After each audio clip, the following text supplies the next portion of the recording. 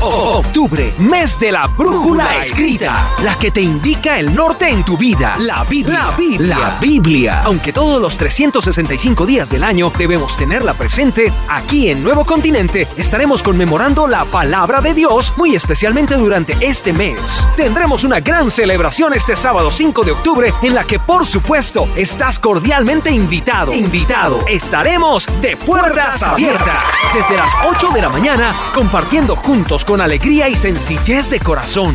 Lámpara de su palabra y lumbrera mi camino. Es uno de los textos bíblicos enmarcados que podrás llevar en esta ocasión como recordatorio de tu emisora. Puertas abiertas en Nuevo Continente. Este sábado, celebrando el mes de la Biblia.